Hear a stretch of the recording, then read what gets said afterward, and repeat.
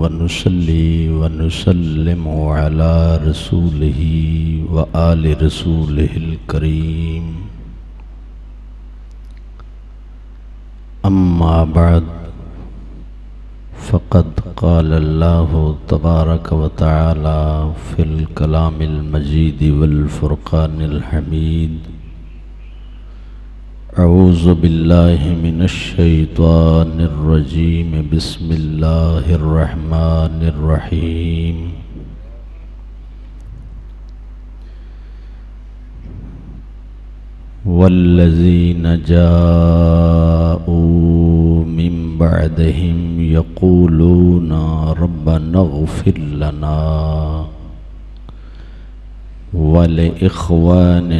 अल्लज़ीन सबक़ूना बिलईमान वक़ाल अल्लाहु तबारक व तआला फ़ी मक़ामिन आख़र फ़ी शान हबीबिही व हबीबना व रसूलिही व रसूलना मुखबिरा व आमिरा इन्नल्लाह व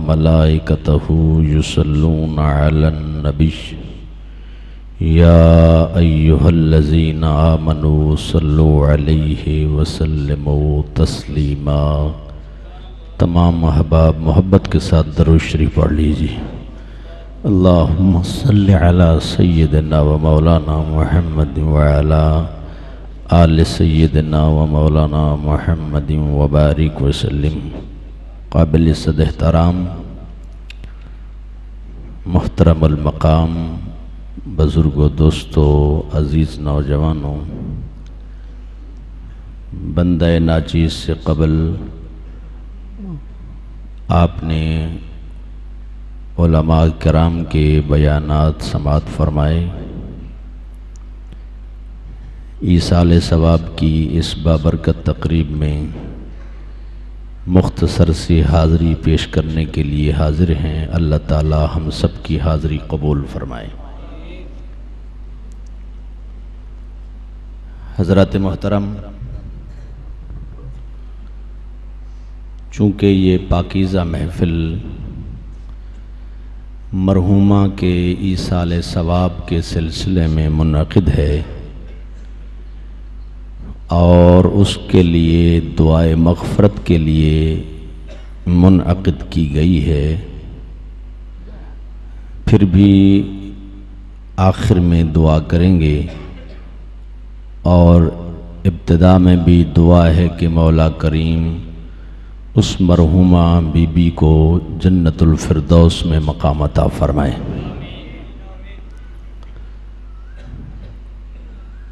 हज़रत गिरामी,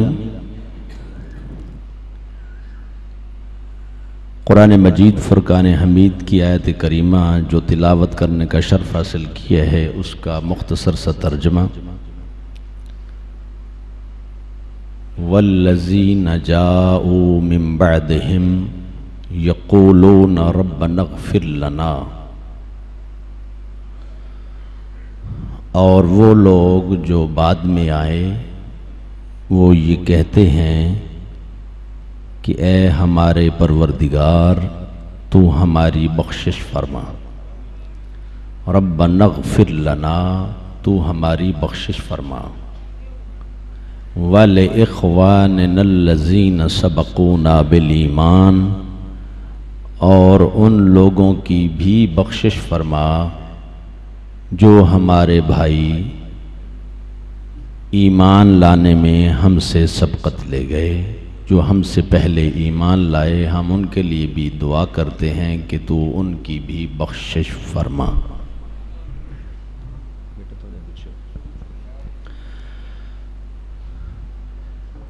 सहाब कराम रिदवानुल्लाह ताला अलैहिम अजमईन का ये अमल, जो अल्लाह पाक को पसंद आया तो अल्लाह करीम ने कुरान मजीद में बतौर इस्तेहसान इसको बयान फरमाया कि मोमनों का ये तरीक़ा कितना ही अच्छा है। सहाब कराम का ये ये तर्ज़ अमल और उनका ये दस्तूर कितना ही अच्छा है कि वो अपने लिए भी बख्शिश की दुआएँ करते हैं और अपने रब से अपने दूसरे मुसलमान भाइयों के लिए भी बख्शिश की दुआ करते हैं। तो कुरान मजीद से हमें ये बात समझ में आती है कि मोमिन का ये दस्तूर शुरू से यही रहा है कि वो अपने लिए भी बख्शिश की दुआएँ करते हैं और अपने दूसरे मुसलमान भाइयों के लिए भी बख्शिश की दुआ करते हैं। बेन ही उसी तरह आज भी हम उस माई साहबा के लिए बख्शिश की दुआ के लिए हाजिर हुए हैं, जिस तरह के सहाबा कराम अपने से पहले ईमान में सबकत लाने वाले भाइयों के लिए बख्शिश की दुआएँ करते थे। हम भी दुआ करते हैं कि ए अल्लाह, तू इस मरहुमा बीबी की बख्शिश फरमा। मज़ीद, कुरान मजीद से हमें ये भी सबक मिलता है, जो दुआ हर नमाजी नमाज़ में पढ़ता है रब जालनी मुकीम सलात वमिन ज़ुर्रियती रबना व तकबल दुआ। रब नगफिरली वल वल दैया वलमिन यौमा यकूमुल हिसाब। ये दुआ हज़रत इब्राहीम अलैहिस्सलाम ने मांगी कि, ए मेरे रब, मुझे नमाज़ कायम करने वाला बना और मेरी ज़ुर्रियत को, मेरी औलाद को भी नमाज़ कायम करने वाला बना। यहाँ से नमाज़ की अहमियत का पता भी चलता है कि नमाज़ कितना महबूब अमल है और कितना अहम मामला है कि जिसकी इकामत के लिए अल्लाह के नबी हज़रत इब्राहीम ने दुआ मांगी कि हमारे रब ए मेरे परवरदिगार, तू मुझे नमाज़ कायम करने वाला बना। और मेरी औलाद को भी नमाज़ कायम करने वाला बना। उसके बाद आपने दुआ फरमाई रब बना व तकबल दुआ ए हमारे परवरदिगार, तू हमारी दुआओं को कबूल भी फरमा। उसके बाद फिर और दुआ फरमाई रब नग फिर ली वल वाल दैया वलिलमिनीना यौम यकूमुल हिसाब ए हमारे परवरदिगार, तू हमारी बख्शिश फरमा। और हमारे वालदेन की बख्शिश फरमा, और हर मोमिन की बख्शिश फरमा, जिस दिन हिसाब कायम हो, जिस दिन हिसाब कायम हो, उस दिन हमारी भी बख्शिश हो जाए, हमारे वालदेन की भी बख्शिश हो जाए, और हर ईमान वाले की बख्शिश हो जाए। ये दुआ आप हर रोज़ नमाज़ में तकरीबन पढ़ते हैं।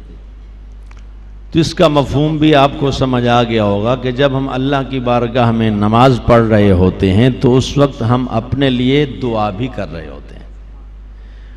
जब हम अल्लाह की इबादत कर रहे होते हैं तो उस वक्त हम अपने वालदेन के लिए भी बख्शिश की दुआ कर रहे होते हैं। जब हम नमाज़ पढ़ रहे होते हैं, अल्लाह ताला की इबादत में मसरूफ़ होते हैं तो उस वक्त हम अपने मोमिन भाइयों के लिए भी बख्शिश की दुआ कर रहे होते हैं। अगर आपको मेरी गुफ्तु समझ में आ रही है तो आप ज़रा आवाज़ बुलंद पढ़ लें सुबहान अल्लाह जिसने अभी तक सुबहान अल्लाह का कलमा अदा नहीं किया अपनी ज़ुबान से, वो भी इस बरकत को हासिल करने के लिए ज़रा एक दफ़ा फिर पढ़ ले सुबहान अल्लाह हज़रत मोहतरम, नमाज़ कब शुरू होती है? कब ख़त्म होती है? ज़िमन ये बात समझाता चलूँ ताकि मसला भी सामने आ जाए और वजाहत हो जाए। जब आप नीयत कर लेते हैं और तकबीर तहरीमा पढ़ते हैं तो नमाज़ शुरू हो जाती है। जब तक आप सलाम नहीं फेरते, उस वक्त आप नमाज़ के अंदर होते हैं। जब आप सलाम फेर देंगे, अस्सलाम वालेकुम वरहमतुल्लाह कह देंगे तो उस वक्त आप नमाज़ से बाहर आ जाते हैं। यानी नमाज़ आपकी अब ख़त्म हो गई, आपने सलाम फेर दिया, नमाज़ का अख्ताम हो गया, नमाज़ ख़त्म हो गई। तो तकबीर तहरीमा से लेकर सलाम की अदायगी तक आदमी नमाज़ के अंदर होता है। नमाज़ के अंदर होता है। उस नमाज़ में होता है, नमाज़ के अंदर होता है। तो देखिए, नमाज़ सारी की सारी अल्लाह की इबादत है। नमाज़ सारी की सारी क्या है? अल्लाह की इबादत।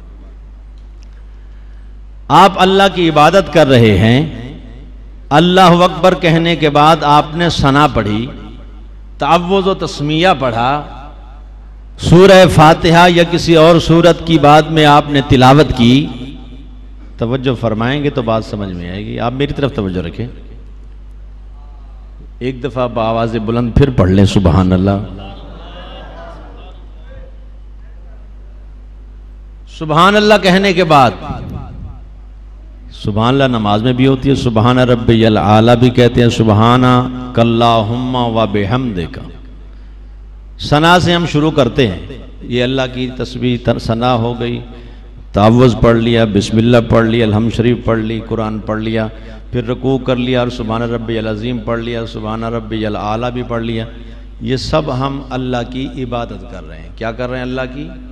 इबादत। नमाज़ सारी की सारी।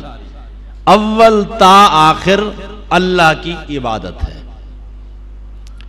ये सारी अल्लाह की इबादत है।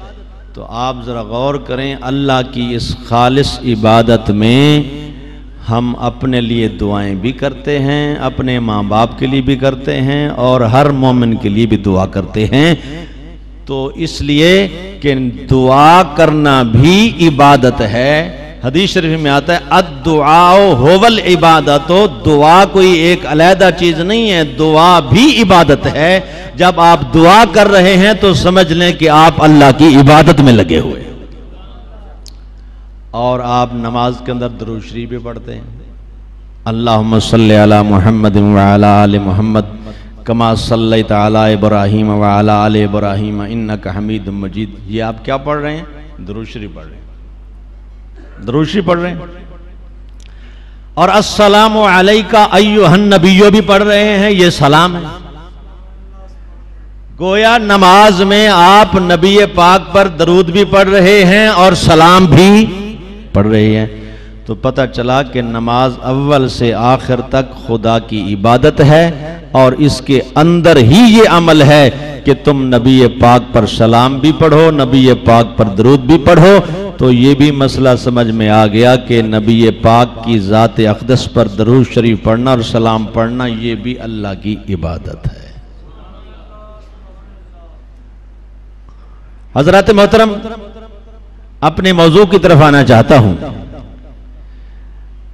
मैंने अर्ज़ किया कि बख्शिश की दुआएँ, मगफरत की दुआ मोमिन के लिए सहाबा कराम का जो अमल अल्लाह ने कुरान मजीद में बयान फरमाया है, हमने उसको लिया।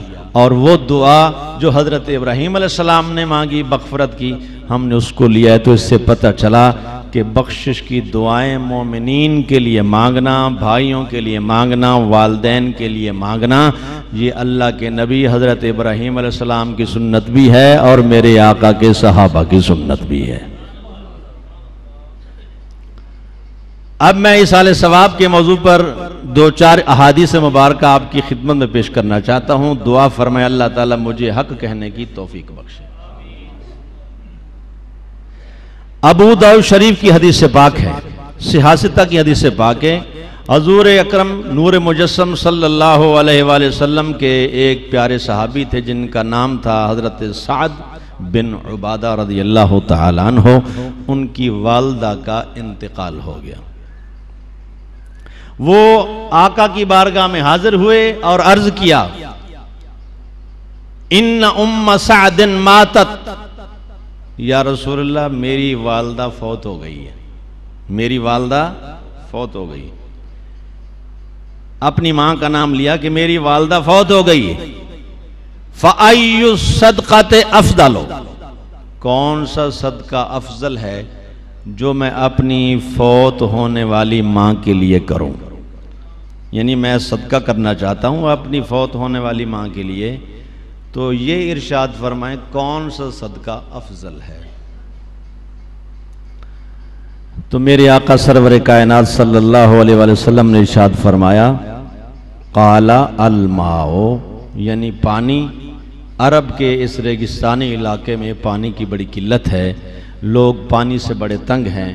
ये भी बहुत बड़ा सदका है कि तुम लोगों के लिए अल्लाह की मखलूक के लिए पानी का बंदोबस्त कर लो और लोग पानी से इस्तेफादा करें तो तेरी माँ के लिए ये बहुत बड़ा अफजल सदका होगा।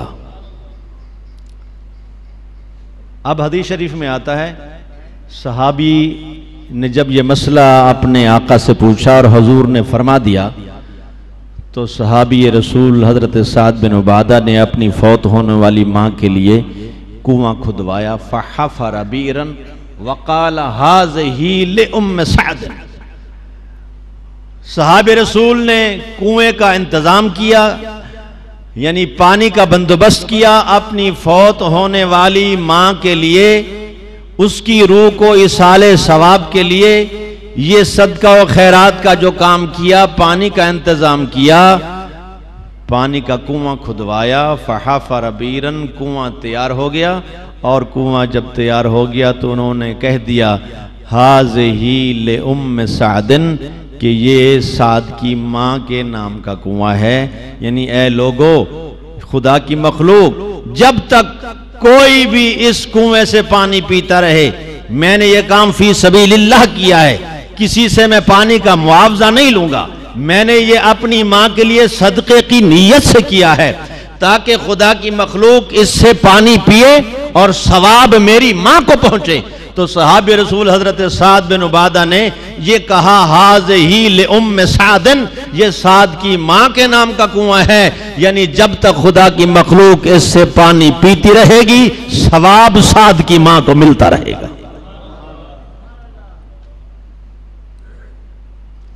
ये हदीस शरीफ सियासता की अबू दाऊद शरीफ की हदीस पाक है जो मैंने आपके सामने पेश की।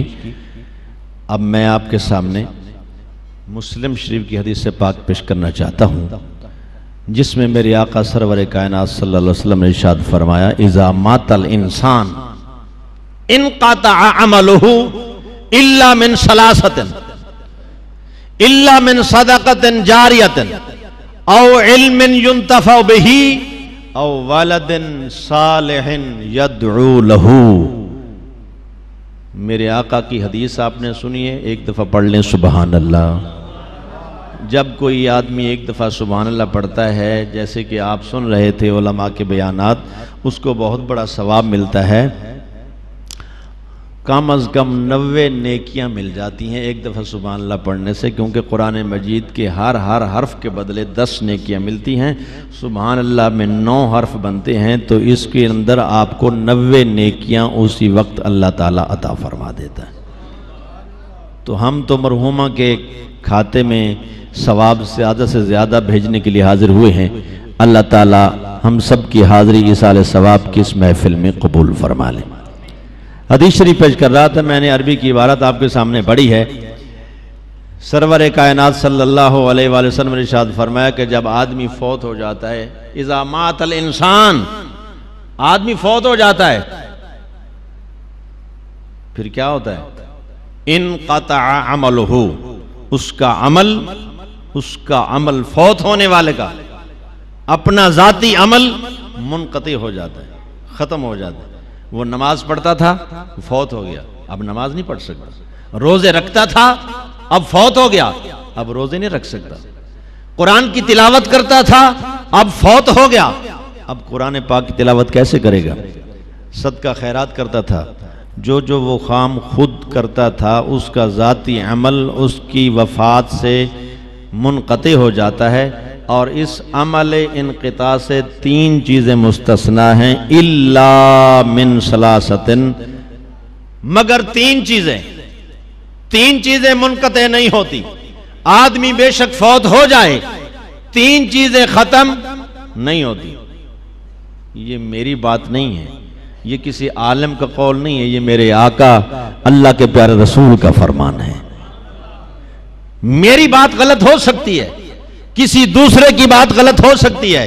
आपकी बात गलत हो सकती है। मेरे रसूल का जो फरमान है, कायनात बदल सकती है, मुस्तफ़ा की बात नहीं बदल सकती। हजूर ने फरमाया, तीन चीज़ें खत्म नहीं होती। तीन चीज़ें मुनकते नहीं होती। इस इनकता के अमल से तीन चीज़ें मुस्तना है। वो कौन सी तीन चीज़ें जो खत्म नहीं होती? वो बात समझ में आ जाए तो अल्लाह ताला हमारे उकदे जो हैं वो खोल दे।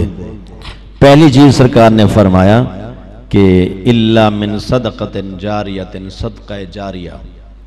सदका जारिया ख़त्म नहीं होता। मस्जिद है, ये सदका जारी है। कुरान पाक का कोई दर्स है, वो सदका जारी है। या कि इसके अलावा और भी कोई ऐसा अमल है जिसका सवाब जारी रहता है, लोग उससे फ़ायदा हासिल करते रहते हैं। तो सरकार फरमाते हैं, जब तक वो काम होता रहेगा, मरने वाले को सवाब भी मिलता रहेगा। मरने वाले को सवाब भी मिलता रहेगा। वो ख़त्म नहीं होता। जाती अमल जो बाकी किया करता था अपनी ज़िंदगी में, वो खत्म हो गया। मगर ये तीन चीज़ें खत्म नहीं होती, सदका जारिया भी जारी रहता है, इसका सवाब भी मिलता रहता है। और ऐसा इल्म छोड़ गया, फौत होने वाला कि उसके इल्म से लोग फ़ायदा हासिल कर रहे हैं, मखलूक खुदा को नफ़ा हो रहा है, लोग आगे मसले मसाइल समझ रहे हैं। कुरान पढ़ता था, पढ़ाता था, उसने आगे शगिर्द बना दिए। हाफिज़ साहब थे, कारी साहब थे, आलम थे, उन्होंने आगे बहुत से आलम बना दिए। और फिर कुरान पाक के कारी आगे बन गए। उससे आगे फिर उनके शागिर्द पढ़ रहे हैं, वो आगे और फिर पढ़ा रहे हैं। तो जब तक ये इल्म का सिलसिला चलता रहेगा, लोग उस इल्म से फ़ायदा हासिल करते रहेंगे। मेरे आका फरमाते मरने वाले के खाते में सवाब बंद नहीं होता, सवाब उसको मिलता रहेगा। तीसरी चीज़ कौन सी है? ये दो चीज़ें मैंने आपको बताई। एक सदका जारिया, एक ऐसा इल्म जिससे खुदा की मखलूक नफ़ा हासिल करे, फ़ायदा हासिल करे। तीसरी चीज़ जो मेरे आका ने इशाद फरमाई है, वो फरमाया है कि अवल दिन सालहन यदू लहू। वलद लड़के को कहते हैं, यानी औलाद। सालह नेक यदू के माने दुआ करे, लहू के माने उसके लिए। फोत होने वाले के लिए नेक औलाद दुआ करे तो ये भी काम खत्म नहीं होता। नेक औलाद छोड़ गया, मरने वाला फौत होने वाला फौत हो गया, पीछे नेक औलाद छोड़ गया है, कोई नेक बच्चा छोड़ गया है, नेक बेटी छोड़ गया है, नेक बेटा छोड़ गया है, और ऐसा नेक है कि वो अपने माँ बाप के लिए दुआएँ कर रहा है, इधर बेटा दुआ करता रहेगा माँ बाप को सवाब मिलता रहेगा। पता चला कि मोमिन का खाता जो है मरने के बाद बंद नहीं होता। मुसलमान और मोमिन को मरने के बाद भी सवाब मिलता रहता है। कोई सदका खैरात का काम कर दे, कोई नेक काम कर दे, कोई दुआ कर दे, कोई उसके लिए साल सवाब कर दे। इसीलिए इसाल सवाब किया जाता है फौत होने वालों के लिए कि ईमान वालों को सवाब मरने के बाद भी मिलता है।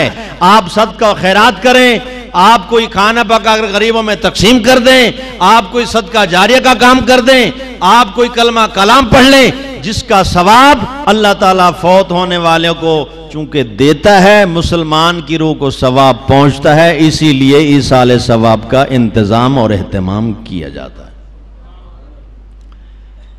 एक और हदीस शरीफ अबू दाऊद शरीफ के हदीस से पाक है।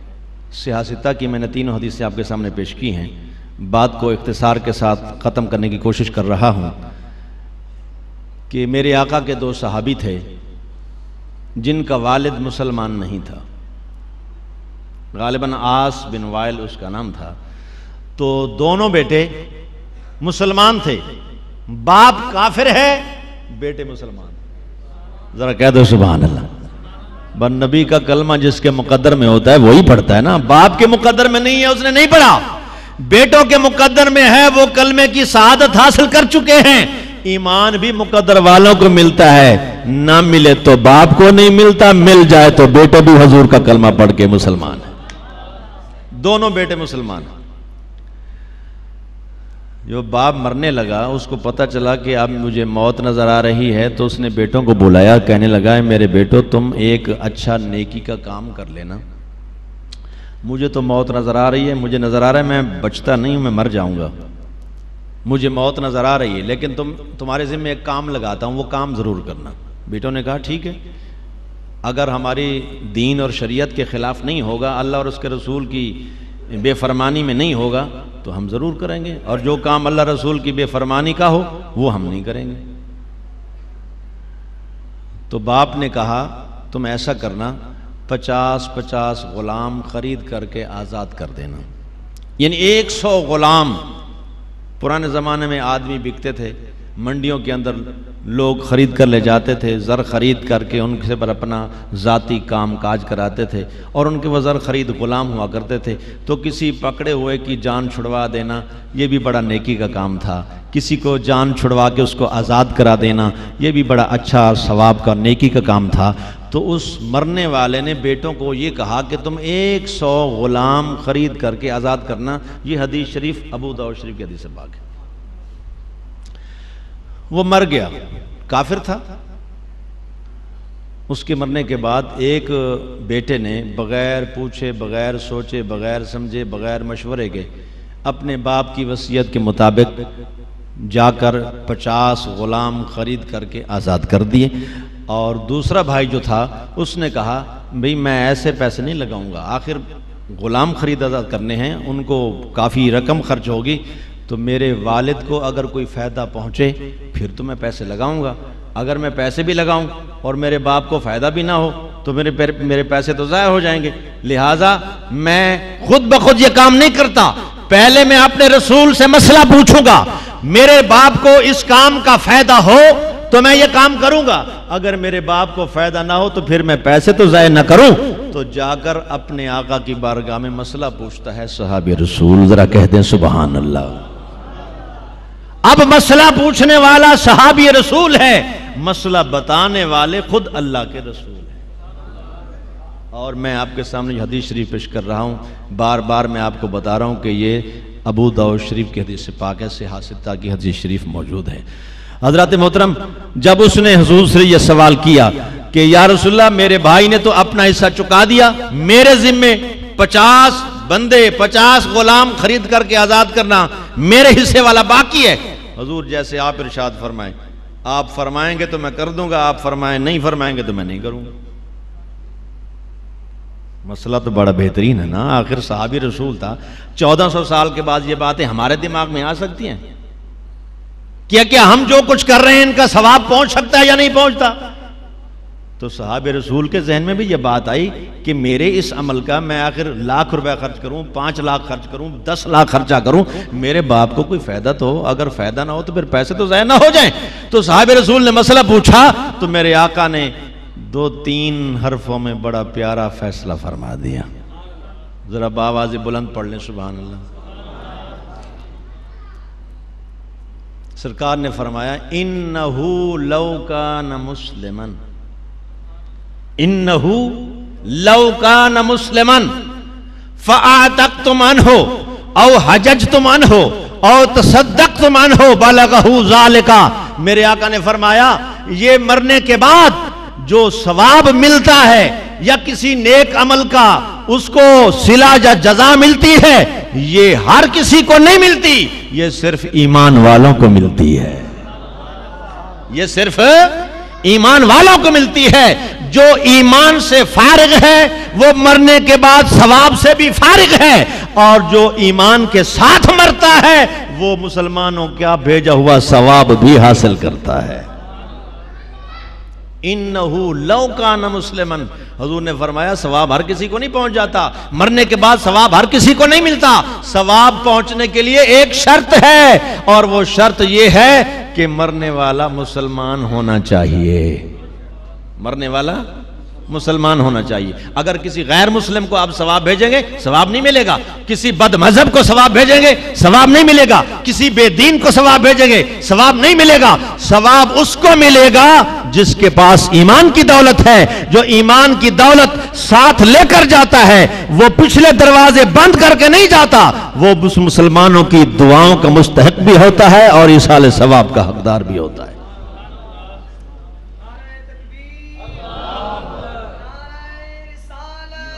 हज़रत मोहतरम, तवज्जो फरमाएँ। वक्त की किल्लत है। सरकार ने फरमाया, मरने वाला अगर मुसलमान होता, तेरा बाप तो काफिर था। तेरा बाप तो काफिर था। उसको सवाब कैसे मिलेगा? उसको सवाब नहीं मिलेगा। तेरा बाप चूँकि काफिर था, उसको सवाब नहीं मिलेगा। इन नहू लव न मुसलमान, अगर वो मुसलमान होता तो फिर क्या होता? फरमाया फ़ा तक तुम अन हो ओ हजज तुम अन हो ओ तसदक तुम अन हो पूछने वाले ने ग़ुलाम ख़रीद करके आज़ाद करने का मसला पूछा, मेरे आका ने पूरा मसला खोल के बता दिया। हजूर ने पूरा मसला ही बता दिया कि ये बार बार बेचारा ना पूछता रहे। मैं आप पूछ रहा हूँ कि गुलाम खरीद करने का सवाब मेरे बाप को पहुंचेगा या नहीं? फिर ये पूछेगा, मैं अगर हज करूँ, मेरे बाप को सवाब मिलेगा या नहीं? फिर ये पूछेगा, मैं कुछ सदका करूँ, मेरे बाप को सवाब पहुंचेगा या नहीं? पूछने वाले ने बाद में सवाल करने हैं, मेरे आका ने सब कुछ पहले ही बता दिया है। सरकार ने फरमाया, तुम तो गुलाम खरीद करके आज़ाद करने का मसला पूछ रहे हो। हाँ तेरा बाप अगर मुसलमान होता तो तुम गुलाम खरीद करके आज़ाद करते, या तुम उसके लिए हज पढ़ते, या तुम उसके लिए कोई सदका खैरात करते तो फिर तेरे बाप को वो सवाब पहुँच जाता चूँकि तेरा बाप मुसलमान नहीं था, लिहाजा उसको सवाब नहीं मिलेगा। तो हमें हदीस शरीफ से ये मसला वाज हो गया कि मरने के बाद सवाब पहुँचता है, लेकिन सिर्फ़ उन लोगों को पहुँचता है जो मुसलमान होते हैं। मुसलमान को सवाब पहुँचता है, जो मोमिन होता है, उसको सवाब पहुँचता है। सिर्फ़ सवाब ही नहीं पहुँचता, बल्कि मुसलमानों की दुआएँ भी उनको मिलती हैं। आखिरी बात और इजाज़त। हज़रत मोहतरम, हमारे भेजने की देर तो होती है, लेकिन अल्लाह ताला के पहुँचाने की देर तो नहीं होती। भाई आपने कुल शरीफ पढ़ लिया। एक दफ़ा कुल पढ़ते हैं, कुरान पाक की एक तिहाई के बराबर सवाब मिलता है, यानी दस सिपारों के बराबर। तीन मरतबा कुल पढ़ ले, कितना सवाब मिल गया? तीस सिपारों के बराबर। तीन मरतबा कुल पढ़ ले तो तीस पारों के बराबर सवाब आदमी को अल्लाह ताला आता फरमाता है, यानी पूरे कुरान पाक का सवाब मिल जाता है। ये हमारी कितनी खुश नसीबी है कि हम तीन मरतबा कुल अल्लाह पढ़ लें, अल्लाह ताला इतना बड़ा सवाब हमें अता फरमा देता है। पूरा कुरान पाक अगर जो पढ़ा हुआ नहीं है, नहीं पढ़ सकता, या कुरान पाक के पढ़ने से महरूम रहा है तो अल्लाह ताला सवाब से उसको महरूम नहीं करता कि ये मेरे महबूब के ग़ुलाम हैं। तुम पूरा कुरान पढ़ना तो चाहिए, हर मुसलमान को। ये नहीं कि कुरान नहीं पढ़ना चाहिए, कुरान तो पढ़ना चाहिए। मुसलमान और कुरान, इनका चोली दामन का साथ है। गर तुम्हें खाही मुसलमान जीस्तन, नेस्त मुमकिन जुज बकुर आजीस्तन अगर एक सच्चे मुसलमान की ज़िंदगी गुजारना चाहते हो तो बगैर कुरान के तुम नहीं गुजार सकते। पहले कुरान पढ़ो, कुरान समझो और कुरान पर अमल करो तो फिर तुम एक सच्चे मुसलमान की तरह ज़िंदगी गुजारोगे। बिल फ़र्ज़ अपनी जहालत की वजह से, गलती की वजह से, कोताही की वजह से, गफलत की वजह से बेतवजही की वजह से कुरान नहीं पढ़ा। तो है तो कलमा तो मेरे मुस्तफ़ा का पढ़ता है। ला इला मोहम्मद रसुल्ला तो पढ़ता है। तो अल्लाह ताला सवाब से मारूम नहीं करता कि ए मेरे नबी के गुलाम, अगर तू कुरान नहीं पढ़ सका तो फिर तीन मरतबा कुल हो, अल्लाह पढ़ ले, तीन मरतबा कुल हो, अल्लाह पढ़ना तेरा काम है, पूरे कुरान का सवाब देना मेरा। ये हदीस शरीफ। दार कुतनी की रिवायत है, हज़रत मौला कायनात, मौला अली शेर खुदा करम अल्लाह तजल करीम रिवायत फरमाते हैं कि जो शख्स हजूर फरमाते हैं, जो शख्स किसी कब्रिस्तान से गुजरे, ग्यारह मरतबा कुल शरीफ पढ़े और उसका सवाब अहले कब्रिस्तान की रूह को बख्श दे तो जितना सवाब अल्लाह ताला तमाम कब्रिस्तान वालों को देता है, उतना सवाब उस भेजने वाले को भी देता है। हमारे कहने की देर है, उसके पहुँचाने की देर नहीं है। बस ये बात करके मैं ख़त्म करता हूँ। तहज़ीर उन्नास के मुसनफ़ ने इस रिवायत को दर्ज किया है कि हज़रत जुनैद बगदादी रहमत अल्लाह के कामिल वली गुज़रे हैं। उनका वाक़ उन्होंने लिखा है कि उनका एक मुरीद था, जो बैठा हुआ था उनके पास। आपने उसको देखा कि उसके चेहरे का रंग यकायक मुतगैर हो गया, चेहरे का रंग बदल गया। यानी चेहरे पर परेशानी के आसार नमोदार हो गए। तो हज़रत जुनैद बगदादी ने पूछा, ए अल्लाह के बंदे, तुम मुझे परेशान लगते हो? तुम परेशान हो? क्या बात है तुम्हारे परेशानी की? क्या वजह है? तुम परेशान क्यों हो? तो उस आदमी ने आपके मुरीद ने अर्ज़ किया, या हज़रत, मेरी वालदा जो फौत हो गई है, मैं देख रहा हूँ मेरी माँ को कब्र में अजाब हो रहा है। मेरी माँ को कब्र में मेरी माँ अजाब में मुबतला है। माँ कहाँ है? बेटा कहाँ है? माँ कब्रिस्तान में दफन है। रूह उसकी न जाने कहाँ गई। जिसम उसका कब्रिस्तान में दफन हो गया। बेटा अल्लाह के वली के कदमों में बैठा है और देख रहा है कि मेरी माँ अजाब में पकड़ी हुई है। इसलिए परेशान है। तो हज़रत जुनैद बगदादी फरमाते, मैंने उसको बताया कुछ नहीं। मुझे हजूर की हदीस याद आ गई कि एक लाख कलमा शरीफ या पचहत्तर हज़ार कलमा शरीफ पढ़ के अगर किसी ऐसे मुसलमान की रूह को सवाब भेज दिया जाए, जिसके ऊपर जहन्नम का अजाब वाजिब हो चुका है तो अल्लाह ताला अजाब हटा देता है और अपनी रहमत नाजिल फरमा देता है। तवज्जो फरमाएँ, बात ख़त्म हो रही है। हज़रत मोहतरम, हज़रत जुनैद बगदादी फरमाते, मेरे पास इतना कलमा पढ़ा हुआ पहले से मौजूद था। मैंने दिल ही दिल में अल्लाह ताला की बारगाह में अर्ज़ किया कि ए मेरे रब, ए मेरे परवरदिगार, मेरे इस मुरीद की माँ को, जिसको अजाब हो रहा है, जो अजाब में पकड़ी हुई है, ये कलमा एक लाख जो मेरे पास सवाब मौजूद है, जो मैंने पढ़ रखा है, इसका सवाब मेरे इस मुरीद की माँ को पहुँचा दे ताकि इस बेचारी का अजाब तो टल जाए। दिल ही दिल में कहा, आवाज़ बुलंद नहीं कहा, उसको बताया भी नहीं। दिल में अल्लाह से बात की। अल्लाह ताला तो दिलों की जानता है, नीयतों से वाकिफ है, इरादों को जानता है। तो वो फरमाते, मैंने जब देखा तो उस मुरीद के चेहरे पर खुशी के आसार हैं। अब वो खुश नज़र आता है तो मैंने पूछा, अल्लाह के बंदे, अभी तो तुम परेशान रहे अब तुम खुश नज़र आ रहे हो? तो उसने कहा, या हज़रत, मैं खुश क्यों ना हो जाऊँ? मैं देख रहा हूँ मेरी माँ के ऊपर अल्लाह की रहमत बरस रही है। हज़रत जुनैद बगदादी फरमाते, मुझे दोनों चीज़ों का बैक वक्त यकीन हो गया। कि नबी की हदीस भी बरहक है और मोमिन का कश्फ भी बरहक है कि वाकई ये देख रहा है कि मेरी माँ को अजाब हो रहा है और अभी देख रहा है कि मेरी माँ के ऊपर अल्लाह की रहमत बरस रही है। इतनी देर में कि उन्होंने अल्लाह से कहा कि या अल्लाह, एक लाख कलमे का सवाब, ये कलमा शरीफ क्यों पढ़ा जाता है? इतनी तादाद में। कि ज़्यादा से ज़्यादा कलमा शरीफ पढ़ेंगे, मरने वाले के लिए बायस रहमत होगा। जितना कलमा शरीफ पढ़ेंगे, अल्लाह ताला की रहमत के हसूल का सबब बनेगा। जितना कुरान पाक पढ़ेंगे, कुल शरीफ पढ़ेंगे, इसीलिए कुल खानी का अहतमाम होता है, इसीलिए इस साल सवाब का अहतमाम होता है कि किसी मुसलमान की रूह को ज़्यादा से ज़्यादा कुरान पाक और कलमा कलाम और खैरात करके उसकी रूह को सवाब भेजा जाए, ताकि अल्लाह ताला उसकी परेशानी हो तो दूर कर दे और उसकी ओर अपनी रहमत नाजिल फरमा दे। अगर फौत होने वाला नेक है तो अल्लाह ताला उसके दर्जात में बुलंदी अता फरमा दे। इतनी थोड़ी सी देर में अल्लाह ने अजाब हटा भी लिया, रहमत भेज भी दी और सवाब भी पहुँचा दिया। तो पता चला कि हमारे भेजने की देर है, अल्लाह के पहुँचाने में देर नहीं है। हमारा काम सवाब पहुंचाना नहीं है। हम सवाब नहीं पहुँचा सकते। हम कौन है? हमारे पास क्या ताकत है? हम तो अल्लाह की बारगाह में अर्ज़ कर सकते हैं परवरदिगार, हम आजिज हैं, तू अलाकुल्ल शैन कदीर है। हम तो वहाँ तक नहीं पहुँच सकते, मगर तू तो सवाब वहाँ पहुँचा सकता है। हम तो नहीं जा सकते। ना हम कब्र में जा सकें, ना उसकी जहाँ रूह है, ना वहाँ जा सकें तो हम वहाँ नहीं जा सकते। परवरदिगार, हम तेरी बारगाह में अर्ज़ करते हैं, ये जो सवाब हम भेजना चाहते हैं, ए अल्लाह तो अपने महबूब के वसीले से उसकी रूह को ये सवाब पहुँचा दे। तो अल्लाह ताला अलाकुल्ल शैन जो कदीर है, वो हर चीज़ पर कादर है। पलक झपकने से पहले सवाब पहुँचा भी देता है, रहमत भी नाजिल फरमा देता है। अल्लाह ताला मरहुमा की कब्र पर ताक क़ियामत करोड़ों रहमत नाजिल फरमाए और हम सब की हाज़िरी को शर्फ कबूलियत अता फरमाए। इस आजज़ कलमात अल्लाह कबूल फरमा ले। वाखिर दावाना रबालमीन